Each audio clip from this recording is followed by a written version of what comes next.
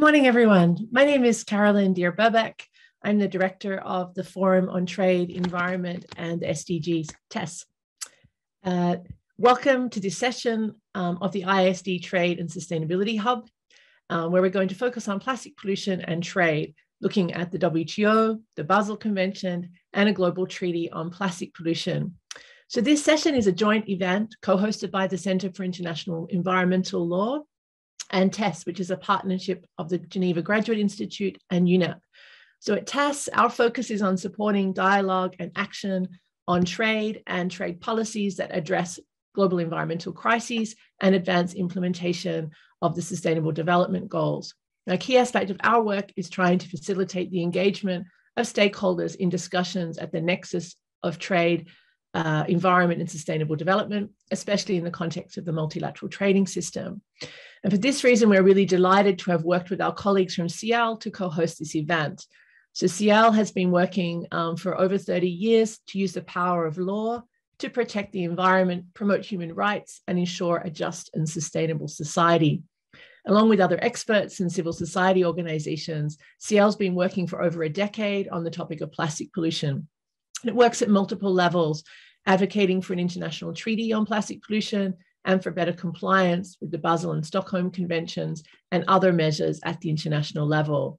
It also works directly with and supports communities um, that are exposing the impacts of plastic on our health, climate, and our planet throughout its life cycle. Um, so, a few words on context. We're here today in the context of a plastic pollution crisis. Um, plastic pollution occurs across the life cycle of plastics with negative impacts on marine ecosystems, on land, on the climate, as well as on public health and sustainable development. And there's growing recognition of the scale and urgency of this crisis and of the need to tackle the upstream sources of plastic proliferation and toxic pollution alongside efforts to address downstream waste. So in 2021, over 100 countries are calling for a new global agreement to tackle plastic pollution and for a decision on next steps at the UN Environment Assembly in 2022. And alongside, over 190 countries have signed new amendments to the Basel Convention to better regulate trade in plastic waste. In addition, over 60 members have co sponsored a ministerial statement on plastic pollution, which should be launched soon in the context of the WTO. So, we have a great set of panelists today to help us address three questions. The first is how does plastic trade affect communities and the environment? And the second two questions are why are trade policies relevant and how can they support and complement international commitments and evolving efforts to tackle plastic pollution? So we have uh, five speakers, each of whom will speak for seven minutes. And then we should have time for uh, Q&A. Um, so please do put any questions uh, in the chat and also, please feel free to post any materials that you may have that would support um, this discussion and people working on these issues. So we have, uh, I just quickly introduce our speakers. We're going to start with Hemantha Withanage, who is a senior advisor at the Center for Environmental Justice and a chairperson at Friends of the Earth International. We then have Brenda Koekkoek, who is the program, who is a program manager at UN Environment Program, where she works on issues of plastics and also chemicals. Then we have Maria Daniela Garcia Freire, who is the Deputy Permanent Representative at the Permanent Mission of Ecuador to the WTO, followed by Andres del Castillo, who is the Senior Attorney at the Center for International Environmental Law. And finally, Valentina Sierra, who is the Secretary at the Permanent Mission of Uruguay to the United Nations here in Geneva. So to try and keep us on track today, I have my small bell that I will ring at six minutes so everyone knows where they are on time. And then without further ado, I'd like to welcome Hemantha, please, to share with us your experience as someone who is working on the ground uh, with communities and civil society organizations on issues of plastics and trade. Hemantha, you have the floor. Thank you very much, Caroline. Um, I'm happy to be in this panel uh, with distinguished panelists. Uh, and I'm uh, Hemantha Withanage from Sri Lanka. And currently I'm the chairperson of the Friends of Earth International. Uh, we have few uh, issues, few experiences in Sri Lanka. Can we go to next slide? Um, as we know that Asia is uh, subjected to a lot of plastic pollution and China produced the largest quantity and also followed by United States and Germany um, and some other countries. And, and as we all know that beverage um, and packing, packaging industry is the dominant uh, single use plastic users and it's about 42% enter in the use phase and um, in in in our countries in our part we have done a lot of brand audits and we found uh, and, and with the support of the break free from plastic um, and ipen and gaia and all these different networks and we found coca-cola pepsi cola unilever so there are some top companies responsible um, and also Asia has become a dumping ground, especially uh, when China decided not to get any kind of plastics. I think uh, it has increased uh, uh heavily. Um, and, and also uh, uh, for the plus ocean pollution, I think Asia is very much responsible. Um, and during the pandemic, we have found that the, the, the plastic pollution has increased again because of the, uh, the, the, plastic packaging and also uh, mask and, uh, and other. Next slide, please. Uh, I'm going to share two uh, case studies from Sri Lanka, and, and as we know that many of, the Southeast Asian countries are suffering from uh, plastic dumping, um, and I'm from South Asia and Sri Lanka also have had these kind of stories and Philippines, Indonesia, Malaysia and Thailand and our colleagues are fighting to send some of those plastics back. Um, in 2019, Set of Environmental Justice, my organization, we filed a case against 263 containers of uh, plastic and post-consumer waste. In one of the container, they have mentioned that it is post-consumer waste categorized under the Basel Convention. Uh, it was waste carpets and, and a lot of plastics were inside and they, they have come brought to Sri Lanka for some value adding um, and, and they say they can increase the, they can add the value about 10% and can uh, sell it to somewhere else, uh, but it is, they are good for scrapping and, and they cannot use it again um, because there are some sort of a hospital waste uh, was here. And so we filed this uh, the legal action against the government authorities and also the, the companies involved. The, the fortunately Court of Appeal um, uh, gave the order uh, in, in support of us and they asked to to return all these uh, 260 containers back to the United Kingdom and, and uh, almost uh, two-thirds of the containers now back in UK, uh, but there we found that another 40 containers still in Sri Lanka and we're going to bring back this uh, case uh, again to the court. Next slide, please.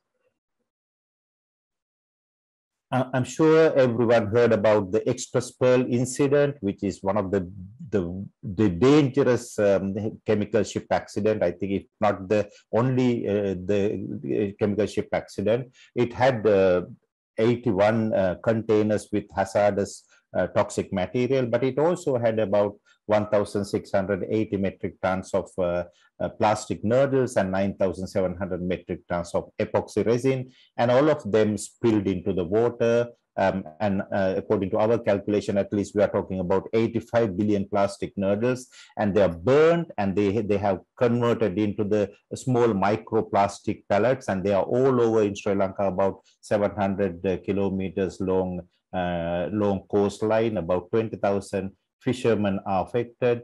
And according to the government, only 40% of the plastics we were able to collect, uh, but rest of the plastics now, uh, some of them are in the beaches.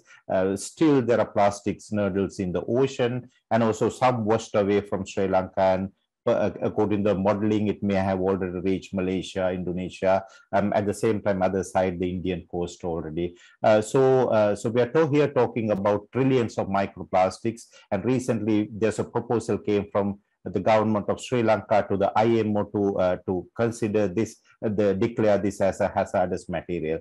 But still, um, we didn't see a um, lot of positive approach from the uh, from the uh, IMO. Um, and here we have the ITOPF International Tank Owners Pollution Federation and also the P&I Club, which is the insurer they are not happy about uh, showing these uh, microplastics. In fact, we have many other stories behind this one. So, but unfortunately, the Sri Lankan coast is very much affected by plastic nurdles and, and, and uh, epoxy resins. Next slide, please.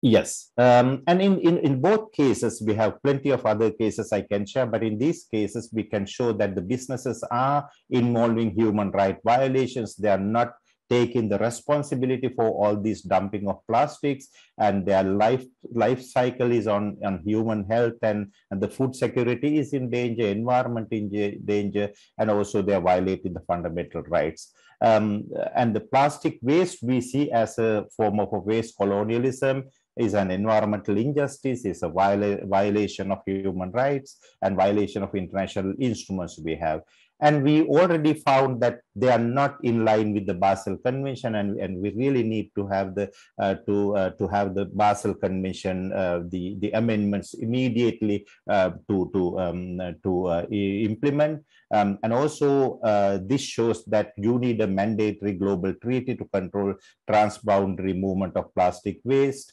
Um, and with respect to the human rights, we call the strong binding instrument on multinational enterprises and need need of the law, um, the national level to implement the same. Um, I think that's my last slide.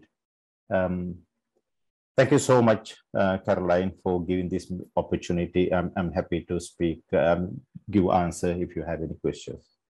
Great. Thank you so much, Hemant Well, thank you for um, participating in our discussion today. I think your presentation has really highlighted how important it is um, to have organizations working on the ground uh, be heard um, in international discussions on these issues because you can bring um, this direct evidence and, and, and help people understand what is happening on the ground, especially in the international fora where it ends up often being quite abstract.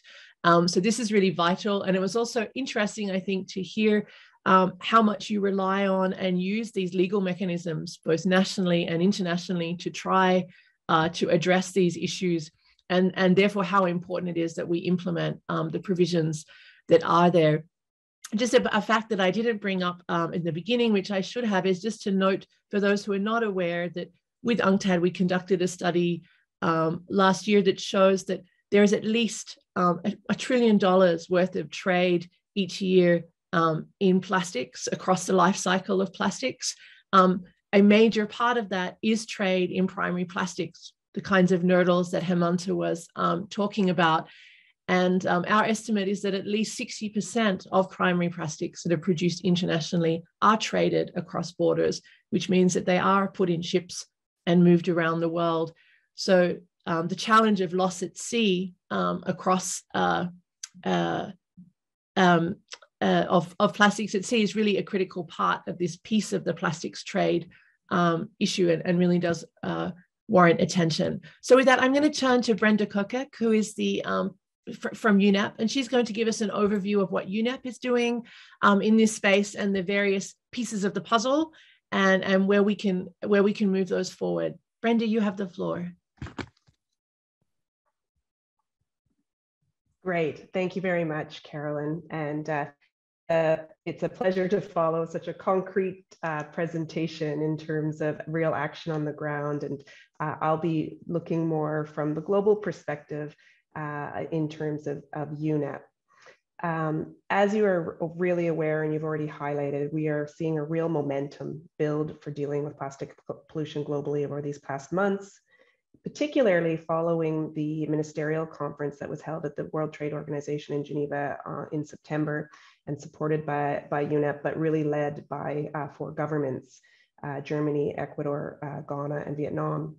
Um, the issue of plastic pollution has really come forward to UNEP and our Environment Assembly, our governing body, through numerous UNEA resolutions um, since 2014 and have used many terms linked to the marine environment, such as marine plastic debris and microplastics at UNEA 1 back in 2014, to marine litter and microplastics at UNEA 4. But so liberations today are really clearly uh, linked, looking across the life cycle. So from extraction and conversions, uh, conversion to manufacturing and use to end of life. And the issue is embedded in the triple planetary crisis of pollution, climate, and nature. Pollution in the world's plastic pollution in the world's oceans alone costs the global economy up to $2.2 trillion per year. And it has direct impacts on a range of economic sectors from fisheries and agriculture to tourism onwards. Greenhouse gas emissions across the life cycle are projected to grow uh, to 19% of the global carbon budget by 2040 and inhaled from air, ingested in food and water, and absorbed through the skin, uh, microplastics have been found in various human organs. So we need to drive solutions to rethink how we make and use and dispose of plastics and take into account the full life cycle of plastic products. So I thought I would start briefly with waste, an area that we're all faced with on a daily basis in terms of plastics. So less than 10% of plastics are recycled globally, putting pressure on developing countries to become dumping grounds for richer countries. And in this regard, we see uh, the Basel Convention controlling transboundary movements of hazardous waste and disposal as a key tool to supporting waste management of plastics. And this is, of course, a UNEP administered convention. It has three main pillars with regard to waste, the control of transboundary movement, environmentally sound management, and prevention and minimization. The plastic waste amendments were adopted by the Conference of the Parties and, and since of, of the Basel Convention. And, and since January 2021 of this year, then the amendments have been effective uh, for 188 parties. Furthermore, the Basel has a plastic waste partnership and it's providing a multi-stakeholder forum to address plastic waste on several fronts um, such as strengthening policy and legal frameworks and developing solutions for environmentally sound management of plastic waste, stimulating innovations uh, to increase durability, reusability, repairability, and recyclability. The second segment of the COP, uh, the Basel Convention COP, will be held face-to-face um, in Geneva in June 2022, and this is kind of one of the next milestones we're looking towards.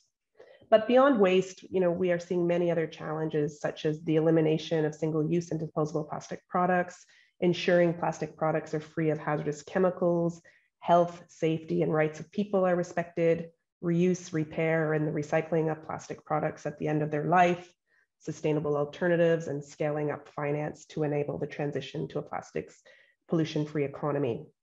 Trade has links to all of these. And um, and it's a very important linkage for us at UNEP. Um, at UNEP, we're building on efforts of the Global Partnership of Marine Litter as a key tool uh, to, to work on this issue, including through our digital platform for sharing information. We're working with frontrunners to commit to action on progress through the Ellen MacArthur Foundation and UNEP's new Plastic Economy Global Commitment, which captures 20% of the global packaging industry. A progress report was developed um, by, uh, by this commitment and was released in November. It reports that virgin plastic use has peaked for the signatories of this commitment and is now on a downward trend. So we're seeing some positive things in some of our efforts, but we want to see more efforts towards single-use packaging, chemicals, et cetera, and moving forward. There's also the Clean Seas campaign uh, that we're working through for outreach and advocacy uh, supporting at national level on action and planning and implementation and enabling. And we have further specific agreements administered by SAICM that are addressing chemicals such as the Stockholm Convention on Persistent Organic Pollutants, as well as, as the Strategic Approach to International uh, Chemicals Management, SAICM. So in terms of environment and trade, you know, it's very unfortunate that the WTO Minister, Ministerial Conference is postponed. Um, nevertheless, we hope you can really build on this momentum for adopting a ministerial statement on plastics pollution and environmentally sustainable plastics trade. Um, we're also encouraged by the other statements on sustainability and fossil fuels. Uh, but we really see the statement on plastics uh, encouraging the exploration of ways that trade can be part of the solution to plastics problem. And we welcome this and we, we look forward to working with you and moving forward on this we really feel that together, you know, we are a lot stronger if we can join hands to promote a circular economy. So UNEA 5.2 will take place uh, from the February 28th uh, to 2nd of March uh, 2022. And momentum has grown, starting with the closure of the ad hoc open-ended working uh, expert group on marine litter and microplastics in November 2020, to the entry into the force of the Basel Plastic Waste Amendments in January, to the ministerial conference held in September at WTO. Um, as Carolyn mentioned, we're now hearing support for an intergovernmental negotiating committee from many countries. And two resolutions are under consideration at the moment in our environmental assembly process.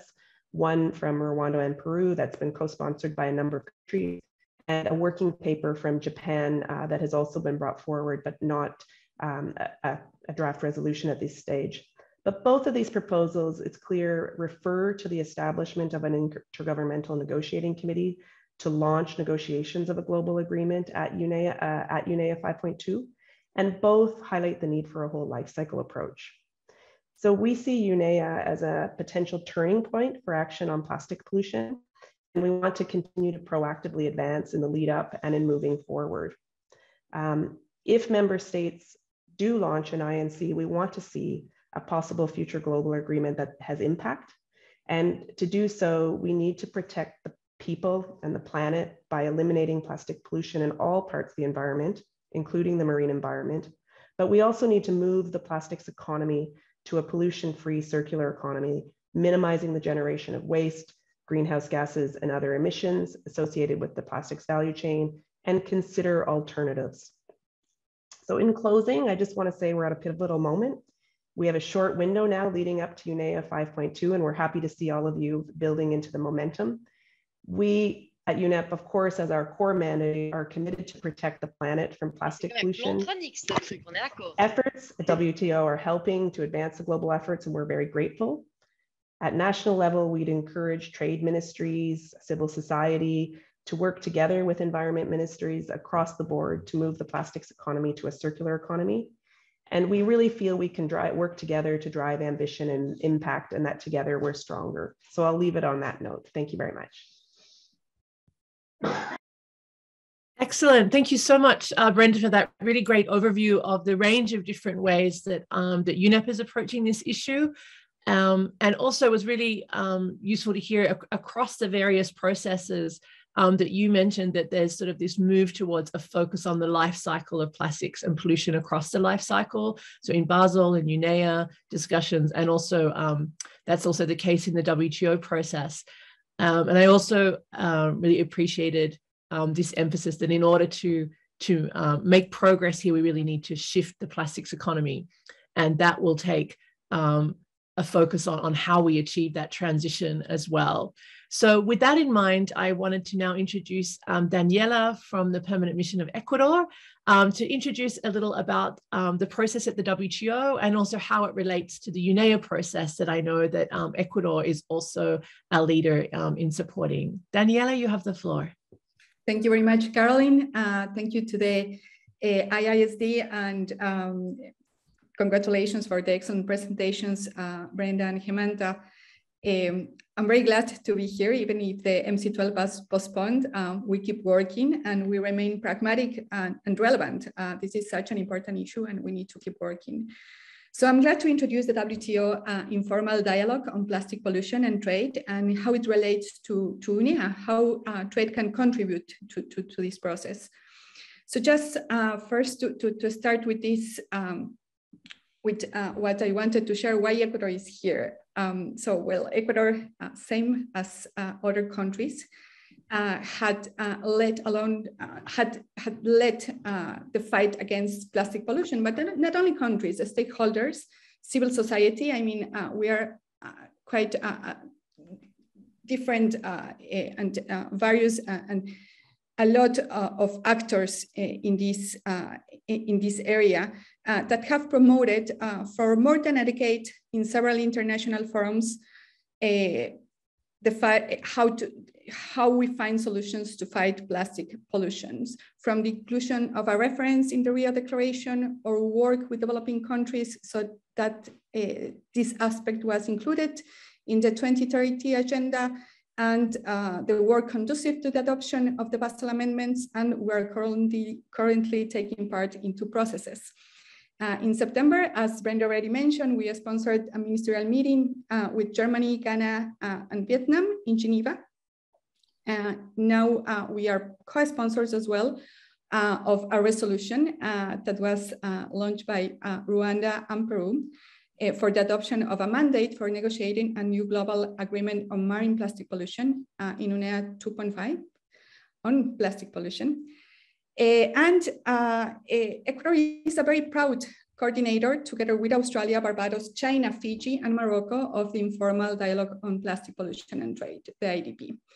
The dialogue started with China and Fiji and today brings together 67 members from all regions. I'm very happy to say this because we started like really uh, in a very small group and now we're 67 uh, with very ambitious goals. Um, and we are all from different regions and uh, different levels uh, of development as well.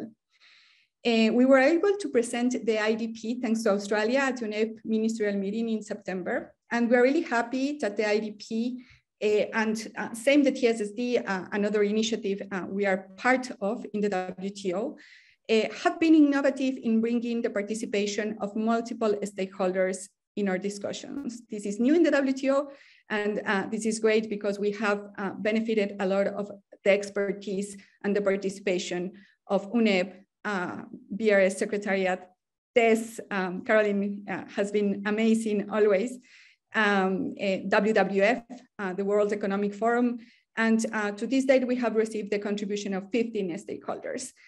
Now, uh, today, the IDP has a ministerial declaration endorsed by, uh, I already mentioned, 67 members, and we hope uh, to bring more to the table. So how does trade contribute to the UNEA process on plastic pollution? Uh, we need definitely Ecuador and 153 countries have been vocal in saying we need a binding instrument. We need a comprehensive framework to uh, cover plastic pollution and to ensure a coordinated international, uh, coordinated international action, share responsibility, and a common approach to deal with this global problematic. The challenge is how to organize these global responses, how to encourage the participation of all uh, of all of, of, all, of all the actors that are part of the, the discussion that have something to propose, uh, suggest, and do. And certainly we need further commitment and actions across the life cycle of plastics. And that's something that we have in common with uh, Basel, UNEP, WTO, we're all on the same page. Uh, in the WTO, uh, discussions around plastics have intensified over the last years. And one indicator is that we see members that, having, that are increasingly using trade uh, policies to address plastic pollution as a solution. Uh, plastic, we need to change the narrative. Plastic, uh, trade is not um, the problem. Uh, it can be the solution as well. From the WTO databases, for example, we have um, now seen that these last four years, uh, there is an accelerated uh, implementation of measures being adopted mostly by LDCs and developing countries. Uh, discussions in our committees have also in, uh, intensified and the IDP has definitely been, uh, in the words of um, DDG Paugam, a game changer over the last year and it has helped to boost and focus uh, the discussion even much, even, even more. Uh, the IDP, we believe it gives us a platform when we can have a better understanding on how trade policy and the fight against, against plastic pollution interact. Uh, as I was saying, we need to change the narrative from being part of the problem to being part of the solution. I think all of the 60, 70 members that are part of the IDP are uh, in the same direction. And we can see, for instance, uh, just to go to factual information, uh, that most of the measures affecting plastics uh, are technical requirements in the case uh, when we talk about trade and the WTO, import licenses, regulatory restrictions. In some case, we found, um, for example, tax schemes designed to penalize uh, hard to recycle plastics or incentivize alternatives. There are several uh, policies also uh, designed to reduce harmful and unnecessary plastics. This is part also of our discussions in the IDP.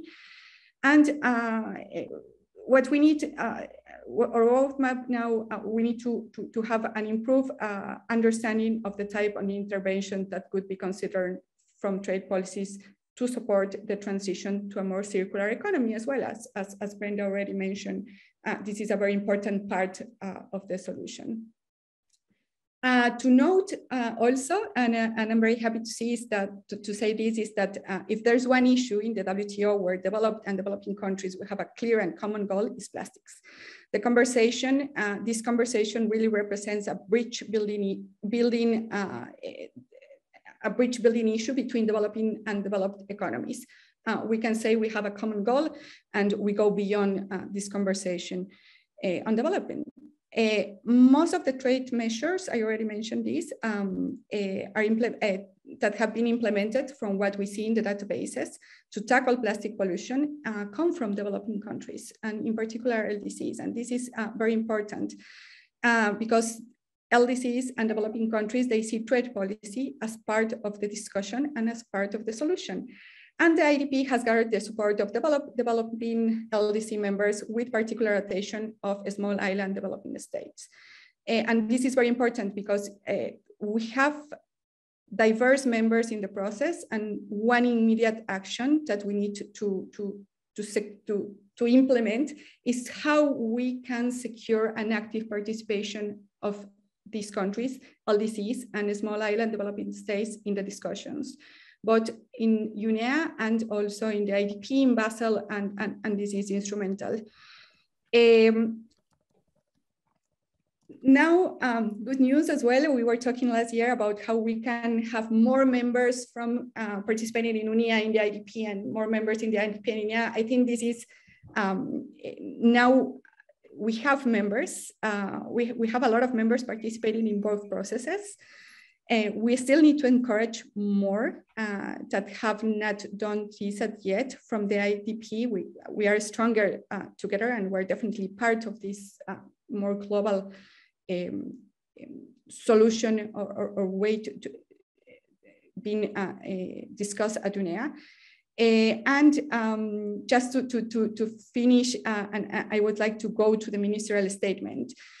Um, so we already mentioned uh, during past conversations that we had a statement uh, that reflects the balance of the broad-based uh, debates that we had in different six uh, in six aspects: improving transparency and monitoring trade uh, trade trends. Uh, Caroline already mentioned um, five percent of the trade globally relates to plastics, and this is a very, a very important issue when we when, when some uh, could say like trade is not part of, of, of, of this, well, 5% of trade relates to plastics, promoting best practices, strengthening policy coherence, identifying the scope for collective approaches, assessing capacity and technical assistance needs, and cooperating with other international processes and efforts.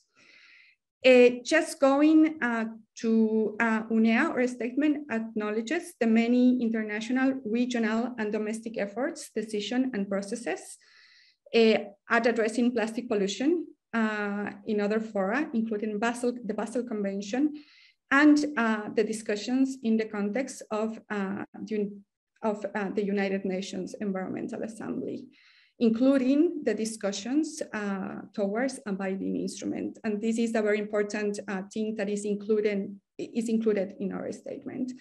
Uh, we definitely highlight the, the, the, opportunities for enhanced cooperation among these different um, but complementary, uh, complementary uh, processes towards a common vision, taking into account importance to ensure, um, to avoid duplication and to, to ensure a collective uh, response.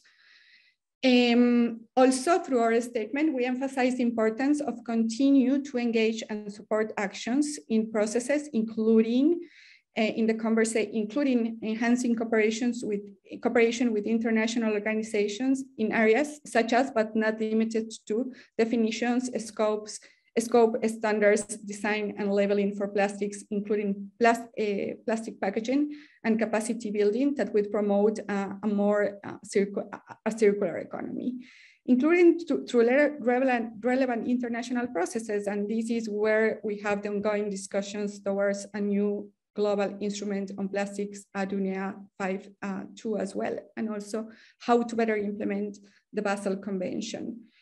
Um, one very important action we aim to, to discuss about next year is also how to improve gathering of data, how to work with the World Customs Organization uh, by utilizing the HS system, uh, HS convention. So this is uh, one of the things. There is much more in our declaration. We have a clear roadmap, but definitely there's um, much more to do, much more to uh, we need to, we need to, as I mentioned, um, and Brenda made it uh, clear, we are stronger um, together. And uh, we need to, to, to work on an ambitious outcome and uh, definitely how trade can contribute uh, to the UNEA process is one of the things taking into consideration. Uh, UNEA 5.2 is happening in February. So um, thank you, Caroline. Sorry, I think I uh, went beyond my seven minutes, um, but happy to receive any question about the statement as well, which we are very happy to still have. We still have a ministerial statement, even without MC12. So um, that's great news as well. Great. Uh, thank you so much, Daniela. And really amazing news to have 67 co sponsors um, of that statement. I think it's also worth noting that um, there are many countries who participate in the work of the IDP because it's open to all members. Um, so there are many others who participate who may not necessarily have co sponsored, but who follow the work and have expressed an interest in it. So I would personally expect that engagement um, of countries to, to evolve and probably to grow uh, over time. Um, one thing I really appreciated uh, in your remarks is your emphasis on this effort to link the two processes, that there are many pieces of the puzzle of how we're going to tackle plastic pollution. It will involve a range of different actors from across the UN system and a range of different processes. And I think what's really vital is that we um, have delegates like yours and countries like yours that are doing the work to, to, to connect the dots um, between those processes, which also means doing work at home at the national level in terms of linking you know environment ministries and trade ministries um, together. Um, hopefully in the question and answer we can come back to a few more of the specifics of what are in the statement because i think there are some um, i might just quickly um, mention too that one of the areas that the members have committed to working is to identify best practices on how trade related uh, cooperation can help promote trade um, in goods and services that can help reduce plastic pollution this could include um, environmentally sound waste management technologies, for instance, or plastic substitutes, um, and also um, cooperation on reducing unnecessary and harmful plastics and plastic products. Um, and they've mentioned in particular single-use plastic um, plastics and plastic packaging that's associated with international trade. So I think there's some really concrete areas that members have um, have outlined, which are worth, um, uh, you know, which are really commendable in that statement. So without further ado, I'd like to turn now to Andres um, from CIEL um, to talk a little bit about CIEL's perspective on these issues and about the potential for trade provisions in MEAs. Um, Andres, you have the floor. Thank you so much, Caroline. And I have a presentation that uh, uh, probably you can already see on your screen. And I will uh, focus on the the role of trade-related measures within the potential new treaty on plastics. But before of that, I, as a, a co-convener of this uh, event, I would like to thank the panelists, the participants and organizers uh, of this very important and unique dedicated session on the issue of plastic and trade. And also kudos to Eleanor from CIEL who have been gathering all together to be here with you, sharing uh, some important views. Um, so as you can see first in the first uh, slide of the picture in your screen is the United Nations Charter Preamble. And if we were updating the first sentence to the current context, we propose the current language. We, the people of the world who consume a credit card's worth of plastic every week. And after the World War, I will include also and mention the three uh, interplanetary crises, climate change, biodiversity loss, and pollution. Uh, and of course, the plastic crisis, which is intrinsically linked with fossil fuels and a cross-cutting issue. Next slide, please. Thank you.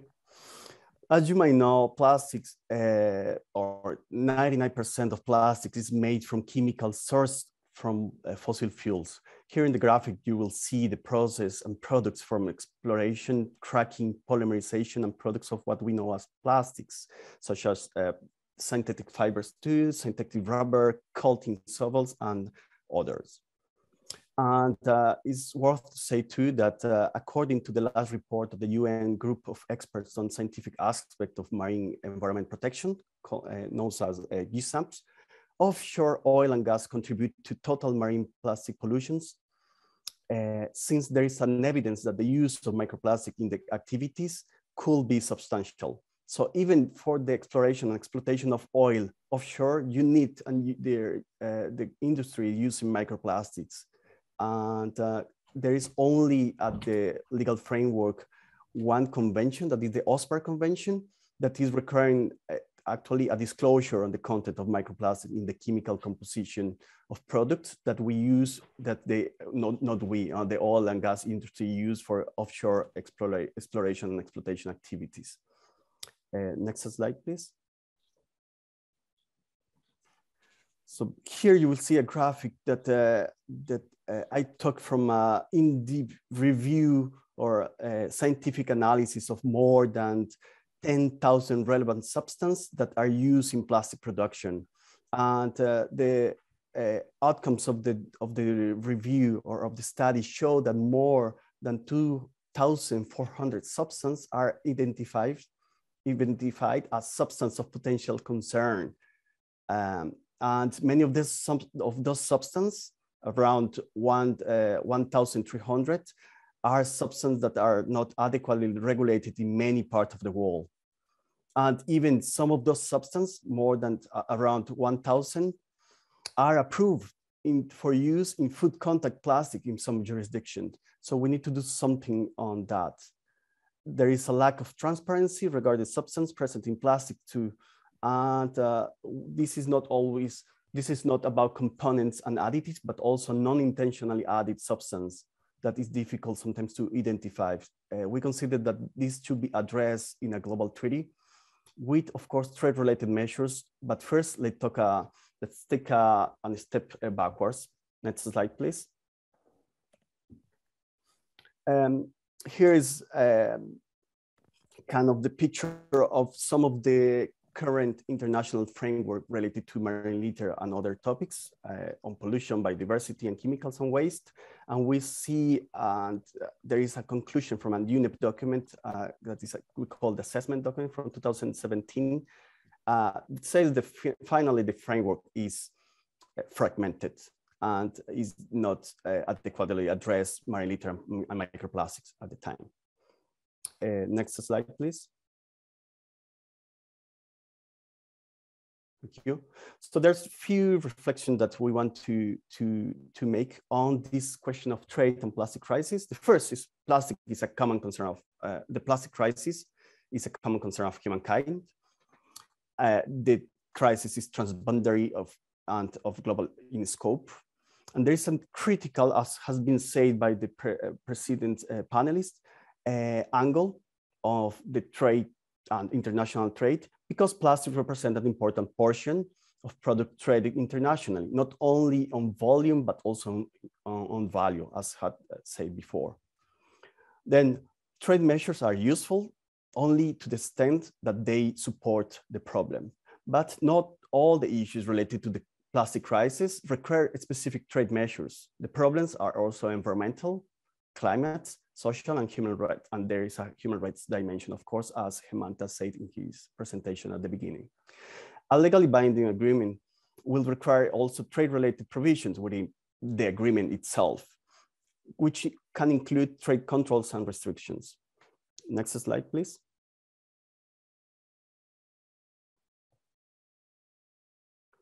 So what we know about trade-related measures with other multilateral environmental agreements or MEAs? We know, according to the WTO matrix uh, that you will find in the in the after in the in, we're going to share with you this presentation you when you have the hyperlinks and look at this specific tool. Say that uh, around uh, 20 uh, multilateral environmental agreements include provision on, on trade or trade-related measures that the use of trade-related measures with the, with the uh, multilateral agreements might be the most effective way to ensure that environmental objectives are achieved. The trade-related measures sometimes raise questions regarding their compatibility with international trade law, but here the question is not whether a multilateral environmental agreement could itself conflict with international trade law, but rather whether a party implementation of this agreement could be in conflict with obligation under international trade law. That is, is quite different. Uh, next slide, please.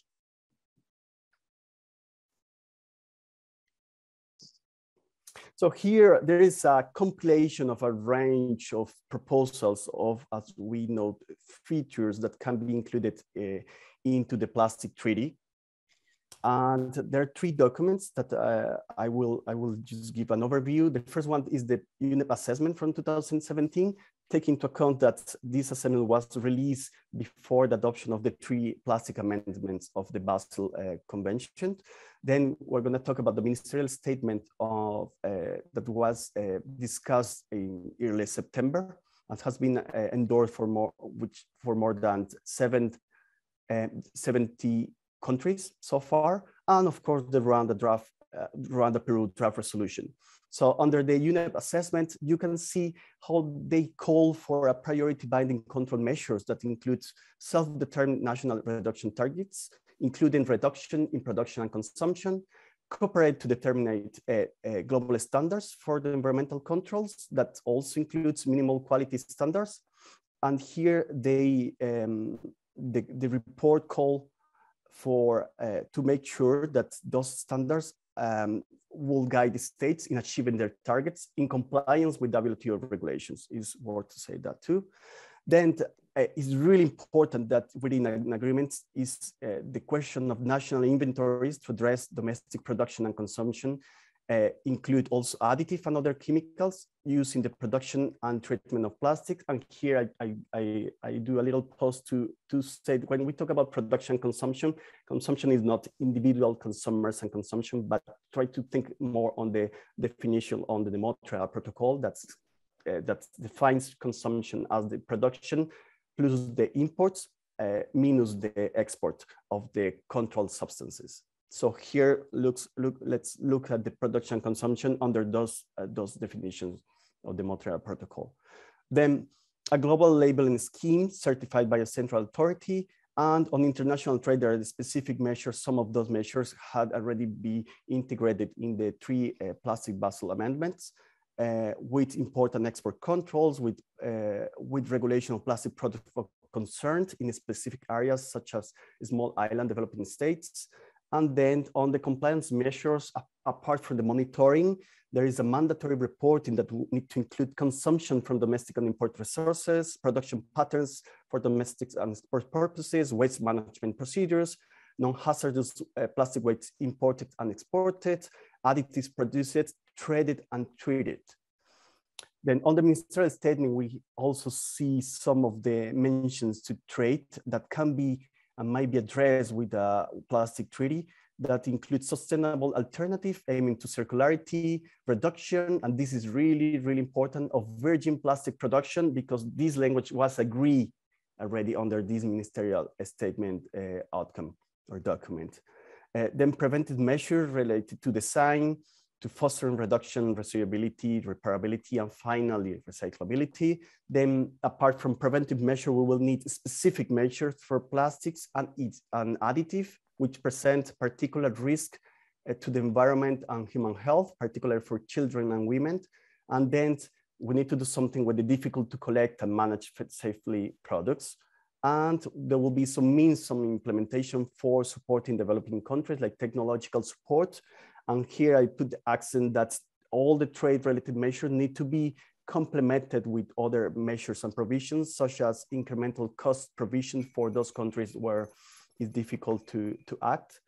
So um, I hear the, the, the, the, and I will forward to the Rwanda Peru resolution that also includes some, some specific topics that need to be included and or addressed during the negotiation of the plastic treaty. And uh, next slide, please. Then we, uh, as CIEL and other partners, we release a, a, document that we're gonna share too about what are the potential pillars of the next uh, of the new trade agreement. Next, next slide, please. And uh, here you will be highlight some of the need to trade related measures that need to be included concerning microplastic labeling on agriculture too, on policy and legislation, etc. Uh, and next slide, please.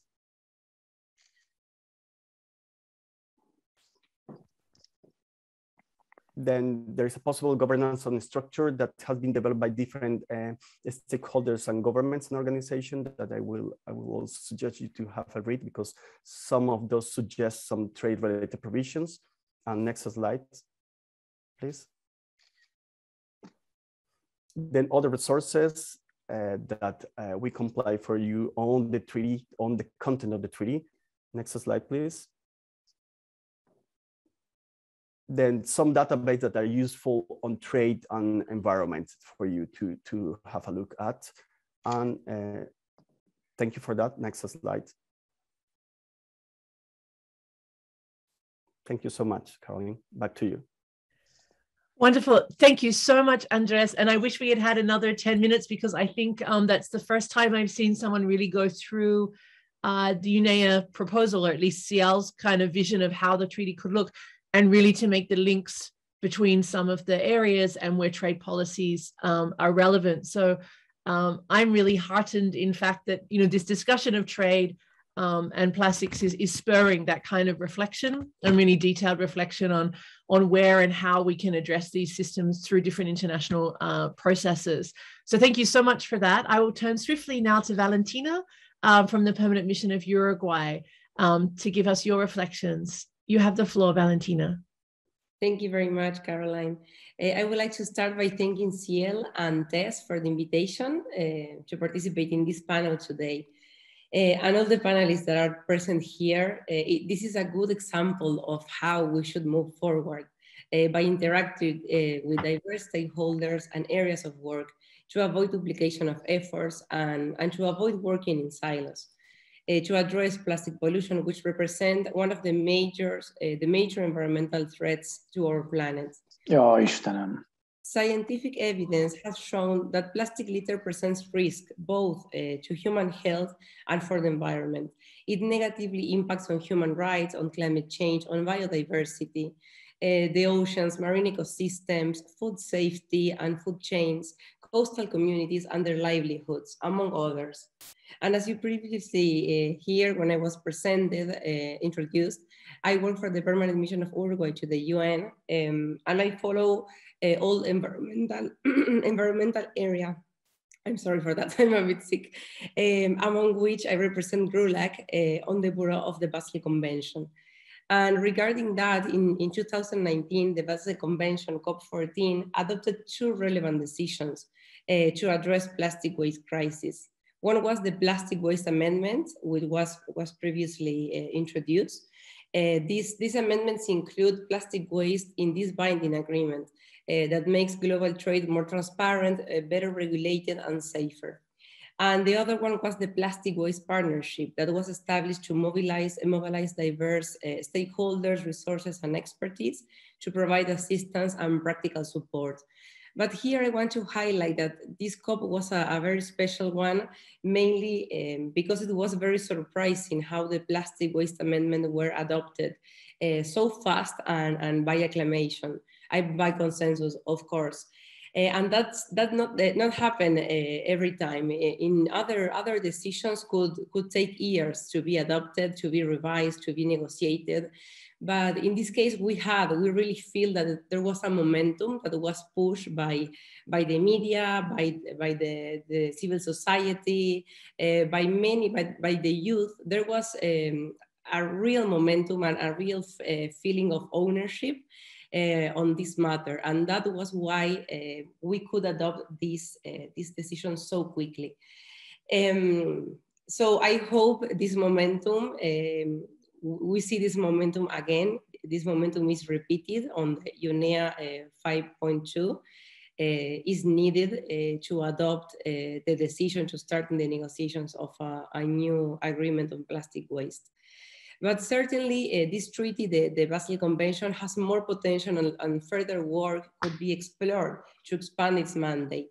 But for the moment, it's our responsibility uh, as parties to identify the existing challenges to fully implement the plastic waste amendments and to give support to developing countries uh, through cooperation, capacity building, technical assistance, and financing.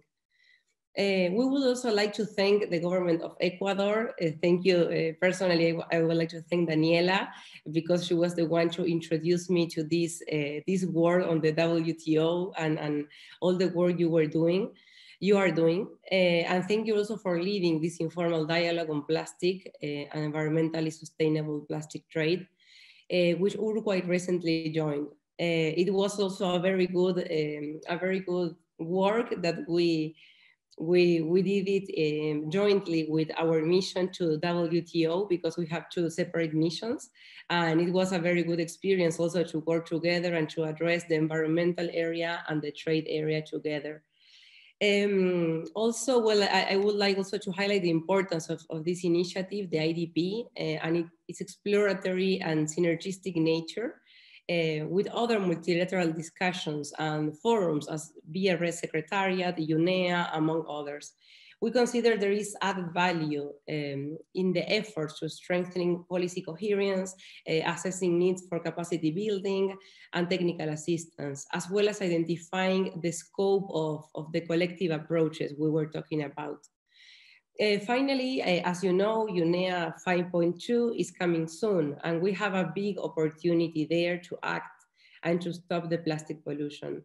We strongly support uh, the establishment of an intergovernmental negotiating committee on marine litter and plastic pollution to develop international instruments to prevent uh, the combat and combat uh, plastic waste pollution, um, the, the draft resolution that was presented by Peru. Uh, this complex problem needs innovative and comprehensive solutions with a human rights approach. Gaps and barriers must be addressed. Um, existing instruments and initiatives should be strengthened.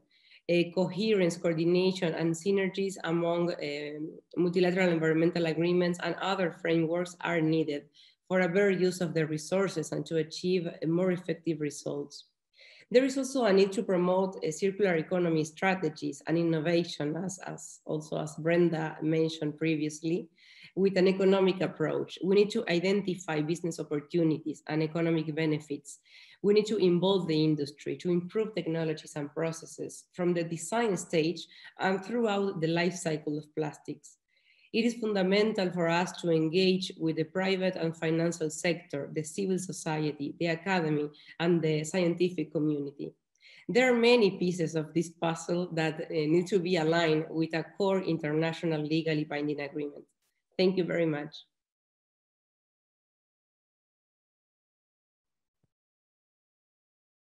Excellent. Thank you so much. Uh, uh, that was great. Sorry, I'm I'm I'm busy typing notes, so I was not quite um, swiftly prepared to take back the floor. But thank you so much. Um, there are many things I appreciated about um, what you said, but the, I think the key thing that you have really underlined is that there are many uh, pieces of this puzzle, and they can move in parallel. What we need to do is to get um, governments at the national level thinking, and stakeholders working together to solve this and we can push that you know some processes will be slower some may move faster but what what we need is the is the the action and the reflection um, especially at, at, the national level. It was also really uh, useful i think for you to um, underline the importance of the basel convention which we haven't had so much time to talk about um, today. Your emphasis on fully implementing that and continuing to elaborate um, that process. Um, and also, I, I do think that um, your point about the economics of this is really important, that we need to, you know, this is a huge shift that we're talking about of a huge global industry that many countries, including developing countries, have a stake in. And so we will need to involve um, uh, industry and others to look at how we provide incentives to shift um, and, and, and, and, and, and where we can find new opportunities for countries in other industries that may emerge as well. So um, with that, I'll turn back to Andres because we wanted to start. We have 15 or so minutes for Q&A, but um, as CIEL is also a co-host of this, I really wanted to turn to him um, to, to, sort of uh, sum up a little where he sees some of the next steps um, and actions um, going forward, um, having heard all of your presentations. So Andres, I'll hand the floor back to you and then I'll, I'll meanwhile look for some more questions. Thank you, Andres. Thank you so much, Caroline. And I was trying to look at my notes and saying, why can I highlight from this uh, really substantive uh, presentation from each of the panelists? And uh, I don't want to repeat what was said, but some of the call for action from all the from all of the panelists. The first is that we are clear that we're talking about a life cycle approach for and a cooperative and co coherence approach that we need to to use to solve this uh, ground, the difficult and uh, complex uh, crisis, having into account that the crisis is not only complex but urgent. So we need to act now. We don't need to delay to see if a tree, a tree will save us from where we are now. But also we need a legal framework, and uh, because at the end of the day, some of the, the legal features can't help uh, communities in the ground to to rely on that and and make sure that uh, that uh, they get environmental justice. For instance, Hemantha was her, was sharing how from the production and transport of uh, nurdles and pellets to the waste uh, shipment of illegal waste shipment of plastic, there is a problem. So it's life cycle, it's a life cycle problem. We need life cycle solutions too then uh, that is cross-cutting issue is not only trade related, but also uh, environmental, climate, uh, human rights and, and, health related too. Then the, from Brenda, we really saw a really good summary of the discussion it's of the discussion how is going on at the at the UNEP and the UNEA uh, arena too and the different fora and how UNEP is already taking a step to work and to, to make this kind of shift of paradigm that is necessary. And the call for action is like, we need to keep doing what, uh, and to escalate what we are doing now if we want to have an impact to prevent a catastrophe. Then uh, from Maria Daniela, this is really interesting to have, and we're really happy to have uh, Ecuador uh, here on board with us because Ecuador has been pivotal as a champion states uh, on the issue of plastics. We can them we can see them in different in, in different arenas, not only in, at UNEP, not only as co-sponsor, but also co-organizers, co-chairs. And uh, this is really impressive, and we we commend them to continue this uh, this virtuosity.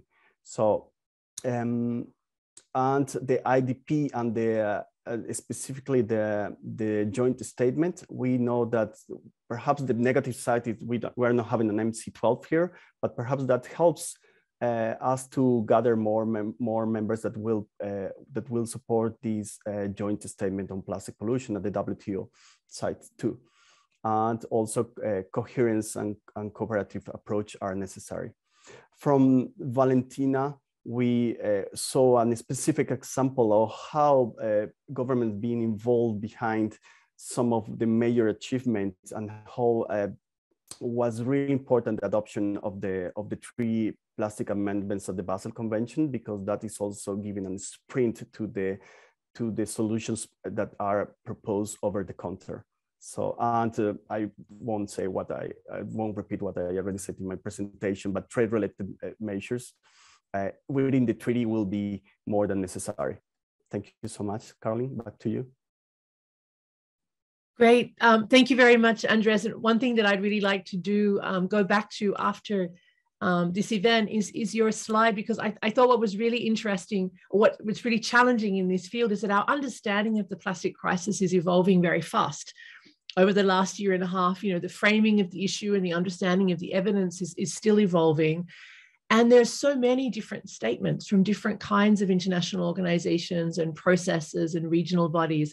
And I think it's really important to do what you have done to sort of build those together to really show where the cutting edge is on, on, on where governments, what governments have already come to understandings of, um, especially around the description of the plastics problem and where the need for action lies.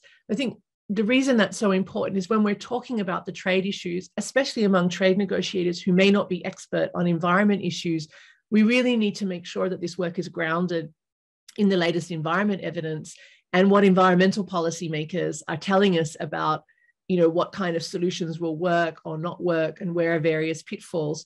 Um, so i think from that point of view it really underlines this case for having a wider uh, framework um, in terms of the you know a global treaty that can really help set out where our, our goals and targets and and kind of top priorities and where do the solutions lie. And then we can fit some of these um, economic instruments and others to help achieve those goals.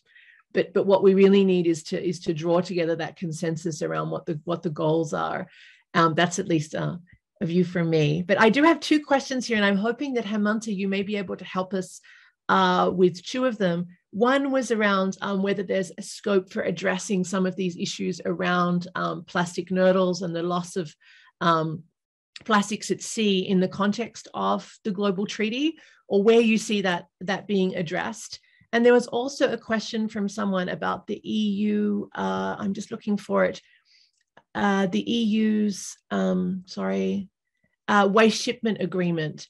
Um, and there was a, a, a, question of whether you've studied that EU waste shipment agreement and whether there are any points that, um, that could be um, improved in that in regard to plastic waste. But Hemantha, I hand the floor to you. Um, thank you very much, uh, Caroline. Uh, it was uh, very nice to hear a um, lot of uh, very important presentations by all the speakers. Um, I, I, think uh, the issue about plastic nurdles, uh, which is a very clear example of how we need, we really need to have a very strong regulation um, uh, when when they're transporting um, the plastic nurdles. And also the waste case we we are handling i think it was um, as as andre mentioned this is a life cycle issue. I think if you if you don't use this example to convince the international bodies i think we, it's going to be a failure of the civil society um, I, I, think all the governments, all the governments, all the bodies should should get together to use this example and we are talking about 1,680 metric tons of plastic nurdles taking, uh, transporting on the deck of a ship. Um, so um, it is it was just on the on the plastic bags, and when they fell into the ocean, they broke and and about two meter high plastic nurdles came into the beaches in Sri Lanka and almost 700 kilometers of beaches were, were, were contaminated with plastics with about 40%. Still, there are some plastics uh, inside the ocean. And, and now they have spread to, uh, I, I, think, maybe about 10, 12 countries already. Unless we use this as an example, because there was a previous issue about uh, one incident in Hong Kong, one incident in Durban. Um, maybe one or two other countries but this is the the, the biggest issue. I think we have to take this to every level uh, to to demand for a for a global treaty um, to to declare this as a hazardous uh, material uh, because these plastics can bind with uh, dioxins furans pcbs um, which are carcinogenic and they can transfer into the bodies of the of the fish um, and then comes back to the human life. And so we don't know and and those plastics will be there for next 500 1000 years unless we use this example i think it's going to be our failure um, so i think we should we should we should continue to push this to all the all the international bodies i think that i hope the imo also will will take this issue seriously and, and during the plastic treaty definitely yes um, I'm not sure about the other other European waste treaty. Perhaps uh, somebody else can help me. Great. Thank you very much, Hemantha. Um, uh, sorry. Uh, Andres, did you want to take up the question about the EU waste shipment?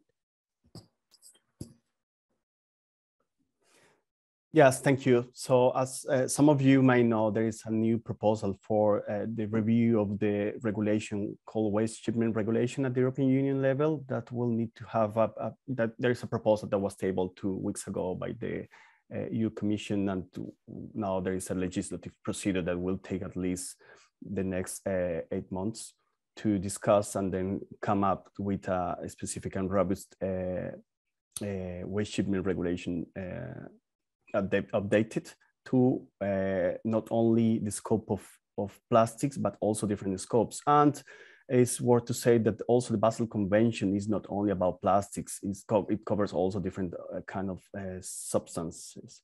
So on that regard, there are some uh, commonalities to look at there too, and of the operation of recycling or, you know, what is the purpose of exporting or importing something for, for recycling operation, for disposal operation, or for recovery operation? And those kind of subtleties need to be addressed and open into scope of the European Union at some point to, to, to harmonize with what the Basel says.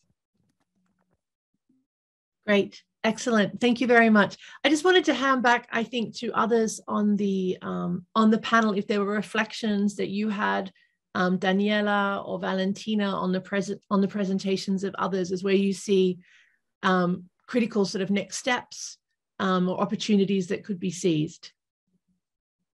Daniela. Uh, thank you. Uh, thank you, Caroline, and thank you for the presentation, uh, Andres uh, and Valentina. And um, two things. Um, I think there's um, Andres, your presentation was excellent. I think uh, we need to, to, to, present that in the IDP because um, what we have mentioned here is that uh, we need um, we need to enhance this uh, cooperation and, and, this collective approach. And you mentioned that if we want to make an impact, we certainly need to escalate things. And one thing we need to work on is how, for example, members in the IDP can support the Peruvian and Rwanda resolution. And we need all of us together in this different um. So, so first, an invitation to, to contribute for, for your contribution, certainly um, uh, from the Ecuadorian side in, in, in, the IDP would be really welcome. It was a great presentation.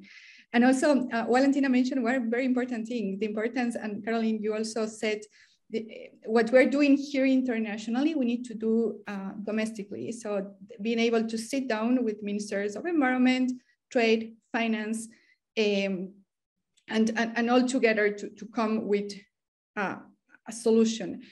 Um, and, and to, to, to really make an impact, to really come with actions. Uh, and Valentina mentioned one very important thing, uh, by the way, uh, how they work together, environment and trade officials. That's a very important thing. So, so just to encourage uh, more of these encounters between um, the, the, the, trade community and the environmental community and stakeholders have been key to do this. I mean, if it weren't for Caroline or for Andres, we wouldn't be here sitting uh, together and, and coming with creative views. Uh, so so my, my, I didn't have anything to say, but uh, thank you to all uh, because it has been a very important conversation and, and we need to keep working and, and certainly escalate things to, to come um, to have an impact. Thank you so much, Daniela. So I'm going to turn to Valentina and also to you, Brenda, as well. Uh, Valentina. Thank you, Caroline. Yes, I think that the well, one of the main messages that that stayed with me um, is this importance of, of, of, having more coherence and, and to talk to each other, um, to develop uh, synergies together, uh, not only with different governments and, and international organizations, but also with all the stakeholders.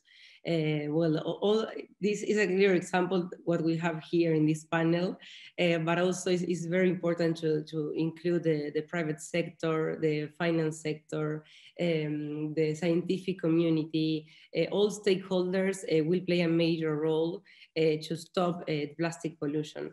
And also I think one of the, um, the umbrellas of, of all processes and, and one of the main um, main needs that we have and, and, and is how we will achieve good results is if we have political will. So I think that that's one of the main main messages that I want to, to leave here, that we need political will and, and with with all the, the support of the diverse stakeholders, with the media, with the youth, with the civil society, with all these movements, uh, we have more visibility, we, we create consciousness. So it's very important uh, the role of any of these stakeholders for this agreement to happen. Thank you.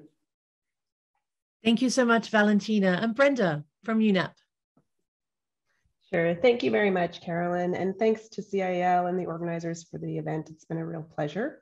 Um, I think I just want to emphasize as closing that you know we really need all actors on board because it's a, such a complex issue, and so um, you know we really welcome the cooperation here and in other bubbles uh, also in terms of um, health, um, um maritime issues, et cetera. And so bringing all of these um, players together is super important, and we're really grateful for you know this in-depth analysis. Um, you know, Andreas, thank you so much because I think it's a very well connected piece. Um, and, and as Valentina and, and Daniela both emphasized, taking these issues back home and working at the national level is also where we're going to find the solutions and where we're going to actually drive the change. Um, so I just wanted to emphasize, you know, the important role of all actors. And my key message as I ended was, you know, together we'll make the difference. And I think that's just critical for us in moving forward that together we'll have the solutions. So thanks. Great. Thank you so much, Brenda. So I have just a minute or two to wrap up. I think that we have achieved our goal today of um, exploring how trade and trade policy are relevant um, to international efforts um, to tackle plastic pollution. Our speakers have provided a really excellent overview of the state of play, um, the challenges at hand, where more attention is needed and where we need to take action. We've heard a call to push forward with the Global Treaty on Plastic Pollution, to strengthen implementation of the Basel Convention, to move ahead with our work to understand and boost cooperation on trade dimensions of plastic pollution across the life cycle, and also to harness opportunities wherever they arise at the WTO, in the UNEA process, at the IMO, um, and also, we haven't had them here today, but also UNCTAD is doing some really important work on trade and plastic pollution, with particular um, focus on developing countries in that um, on that issue. And I think our speakers have each also underlined um, the urgency of the challenge at hand and also the need to listen to evidence and experience from stakeholders working on the ground at the front line to do work um, and that excellent work that Hemantha has been doing. Um, we need this in order to act, and we need to find ways to ensure that this kind of evidence and data is present in the minds of policymakers as they grapple with these issues so that it doesn't seem remote, so they have a sense of this, of, of this urgency. we really need to find ways to ensure that we're using the best available evidence so that policies are credible and also effective um, one of the issues we haven't dealt with so much today, but was hinted at especially by Valentina, is that we need to understand the challenges of transforming such a huge sector in our global economy and finding pathways to transition away from unsustainable production and use of plastics. So here, economic policies are going to be really vital. Of course, trade policies are part of it, but so is finance and investment and insurance policies that underpin the status quo, and they will all need to be part of incentivizing a shift um, to much greater sustainability.